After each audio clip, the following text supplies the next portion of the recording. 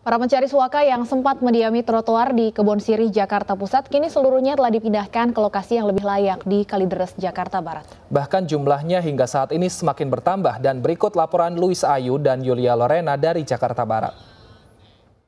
Ya pemirsa, pemerintah DKI Jakarta telah memindahkan ratusan pengungsi suaka politik yang sebelumnya berunjuk rasa dan mendirikan tenda di depan kantor Badan Komisi Tinggi PBB untuk mengungsi di Kebon Siri, Jakarta Pusat ke bekas Gedung Kodim Kalideres tempat saya melaporkan saat ini. Para pengungsi ini pemirsa menempati gedung hingga 6 unit tenda yang didirikan dari Kementerian Sosial dan Dinas Sosial DKI Jakarta.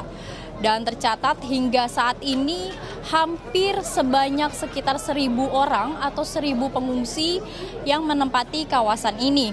Aktivitas mereka juga saat ini terlihat di belakang saya pemirsa kedatangan dari Puskesmas Kalideres untuk memeriksakan kesehatan para imigran dan mereka sangat antusias sekali Selain itu pemirsa sebagian besar perempuan dan anak-anak beristirahat atau tertidur dengan beralaskan tikar ataupun terpal seadanya baik di dalam gedung maupun di dalam tenda pengungsian. Sementara untuk yang laki-laki juga sedang berbincang-bincang sesama pengungsi lainnya. Lokasi ini pemirsa dijaga oleh petugas, baik itu Satpol PP maupun dari pihak kepolisian, di mana para pencari suaka dihimbau untuk beristirahat dan tidak berkeliaran keluar dari lokasi ini.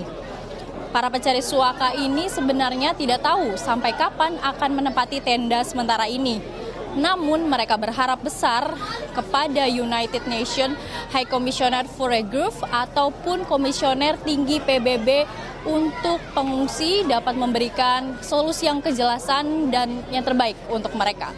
Dari Jakarta, Luis Ayu, Yulia Lorena, Ayus melaporkan.